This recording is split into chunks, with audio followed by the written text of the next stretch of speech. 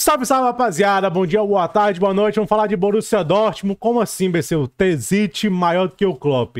Calma, é só um clickbait. E também vamos falar um pouco do ADM, o problema ADM, né?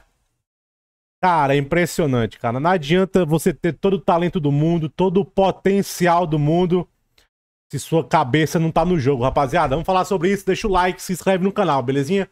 Cara, como assim Tezite maior que o Klopp? Vou chegar nesse ponto, mas dá uma escutada aí, ó. Existem perguntas internas contra o Tezite, que tá sendo sussurradas. As suas táticas contra o Bayern foram criticadas. É, aí fala, pessoas pensaram que os 11 que ele, que ele escalou contra o Bayern eram muito lentos. E, cara, eu tinha comentado isso no pós-jogo. Cara, sabe por quê? Porque ele veio com três volantes contra o Newcastle.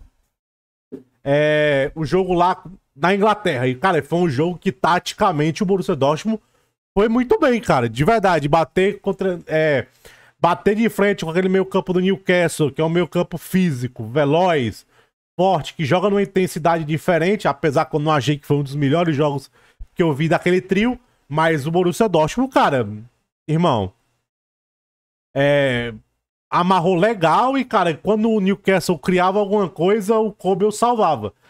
Até brinco que aquele jogo ali poderia jogar 500 minutos que ia terminar 1x0, porque nada passava pelo Kobe. E eu até comentei no pós-jogo, cara, como é que você vem com três volantes contra o Newcastle, aí você vai e coloca dois volantes contra o Bayern, e você faz um time muito ofensivo.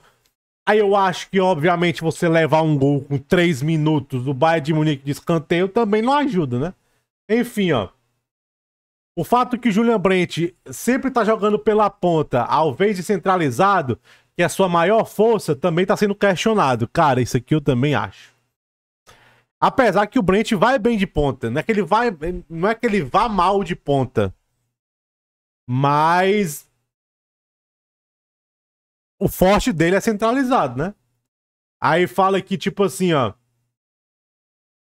Uh, aí fala que o Tezite, cara, como falei, ele é muito torcedor, né? Aí às vezes ele parece ser muito emocional. Aqui fala aqui, ó. O Sebastian Kell é, pode estar. Tá, o Sebastian Kell é o diretor esportivo. Mas o Tezite é o treinador mais poderoso do, do clube desde o Klopp. Olha isso aqui, ó. Tezite, o treinador mais poderoso desde o Klopp.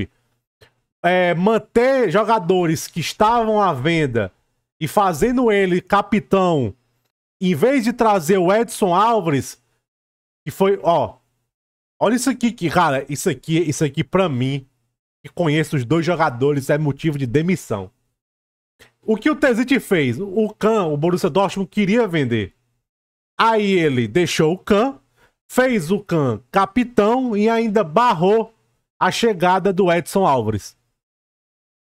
Rapaziada, se eu sou o diretor esportivo aqui, meu amigo, eu demito ele na hora. Meu amigo, os caras preferiram manter o Khan ao invés de contratar o Edson Álvares.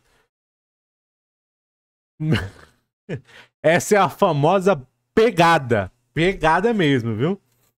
Ah, enfim. Mas ele ainda tem muito suporte. A verdade é essa, que internamente o Tesiste tem muito suporte. E o trabalho dele só vai, vai ser apenas ameaçado se ele não se classificar na Champions League, né? Ah, uma coisa é certa, o que é certo? A diretoria dá suporte para ele. A diretoria ainda acredita no Tezite. Mas se não se classificar na Champions League.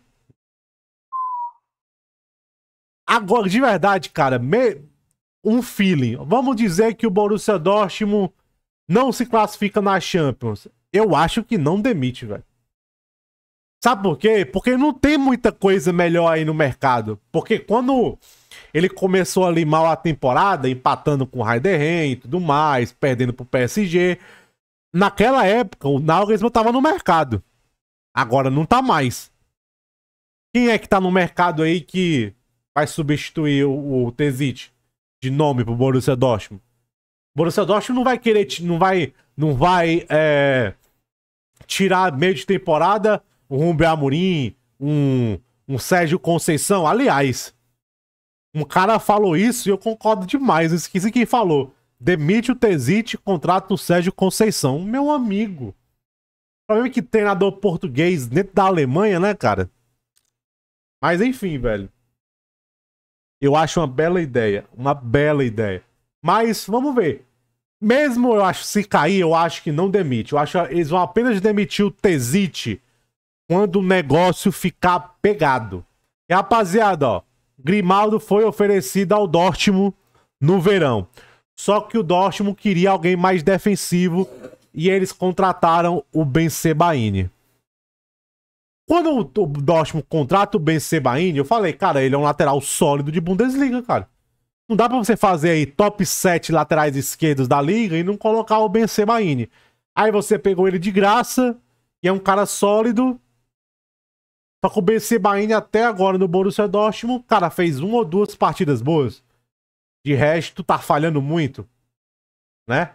E, cara, não tá sendo muito legal. E o, e o Borussia Dortmund, em janeiro, as duas laterais são posições aí que o Dortmund provavelmente em janeiro vai contratar. Vai contratar. Outra coisa de mercado, ó, o Tezite realmente queria o Modeste temporada passada, enquanto o Sebastian Kell queria ir pelo Cavani. Aqui é outra burrice. Quando contratou o Modeste, eu entendi, é um cara de bola aérea. Ele, o Modeste, o pessoal não lembra, mas o Modeste vinha de uma temporada que ele tinha feito 20 gols. Um cara de bola aérea, o Tezite gosta desses caras de bola aérea. Eu entendi. Beleza, é, é um encaixe que o treinador gosta, pediu. Agora, entre Modeste e Cavani? Cara. Esse cara comenta aqui que deve estar tá puto, né? Olha, tá arruinando o clube sem perceber. Esse torcedor do Tottenham, do, do Borussia Dortmund aqui, já desistiu da vida. Então, cara, aqui eu achei pegado, velho o Tezit tem umas escolhas de mercado, apesar que contratar o Félix Mexa, vulgo Bellingham da Shopee, foi uma ótima pedida. Saídas. Mucoco. A saída do Mucoco não está completamente descartada em janeiro, né? Obviamente, por empréstimo, né? Aí fala que ele falou aqui, ó, sobre a Alemanha sub-21. Sempre faço gols aqui porque jogo 90 minutos. Obviamente, uma indireta para o treinador, né? O problema do Mucoco, mas, cara, isso aqui é muito fácil ele falar. A... O problema do Mucoco, ele teve minutagem. Ele teve titularidade. Cara, o pessoal não lembra. Mas o Mucoco chegou a ser titular do lado do Haaland. Quantos anos atrás? Eu acho que o Marco Rose estava no clube ainda. Ele teve minutos. Uma coisa que o Mucoco não pode reclamar do Borussia Dortmund é de minutos, velho. Aqui eu vou defender o clube. Ele teve minutagem. Só que o Bucoco, até, até agora, tá parecendo um leão de, de, de base, leão de seleção sub-21. Mas o Mucoco ainda é muito jovem. O Mucoco tem 19 anos, velho, ou 18? 19 é muito jovem ainda, velho. Muito jovem. Também não sei que ele, com 19 anos que ele quer essa pressa toda. Mas uma coisa que ele não pode reclamar é de minutagem o Mucoco, velho. Minutos ele tem, velho. Ele teve pessoal não lembra, mas ele foi titular do lado do Haaland. Enfim, rapaziada, ADM. De acordo com o Build, o Borussia Dortmund internamente está tá discutindo se o foco do ADM é 100% no futebol. A questão de, de, de, o quanto ele é influenciado pelas pessoas ao, ao redor dele estão sendo perguntadas no clube. Porque, rapaziada, o ADM tá namorando essa Loredana. Loredana. E ela é uma rapper famosa. Aí fala, ó. É dito isso internamente na Alemanha que o foco do ADM no futebol tá cada vez diminuindo por causa do amor à sua namorada e à filha dela. Da filha dela. Amigo, aqui é o famoso, isso aqui é o famoso enterra carreira. E o Borussia Dortmund nos últimos anos não tá tendo muita sorte com isso, né? O, o Renier a mesma coisa. Talento, potencial. Na época que o Borussia Dortmund traz ele por dois anos, o Borussia Dortmund talvez queria até discutir alguma coisa com o Real Madrid para manter ele é, permanente, mas o foco do Renier era em tudo, menos o futebol. E, cara, no, no alto nível hoje, no alto rendimento, se você não tiver focado, amigão, você não vinga. E olha que eu gosto do ADM. Pesquisem o vídeo que eu falo do ADM. O demônio, carinha ADM. Muito bom jogador, cara. Um criador de caos, último terço, rápido, finalizador, veloz. Que lembra aquele gol que ele fez contra o Chelsea na Champions League temporada passada? Talentoso, um potencial enorme o ADM, cara. Enorme. O Real Madrid, ó, se você perguntar aqui, ó. Real Madrid ADM. Ó, Real Madrid está interessado no Salzburg, ó, no build aqui, ó, ADM, ó. Real Madrid, ó. Entendeu, ó? Meu amigo, Real Madrid quer contratar ADM do Borussia Dortmund, porque o Real Madrid sabe do potencial desse garoto. Agora, a cabeça dele isso aqui, que realmente está focado muito mais na mulher do que no futebol, já não é de hoje. Já não é de hoje. Explica por que também essa queda de rendimento dele. Porque o ADM é um cara que já, pelo, que eu, pelo potencial dele, é um cara que devia dar, deveria estar tá fazendo mais números pelo Borussia Dortmund. Tamo junto.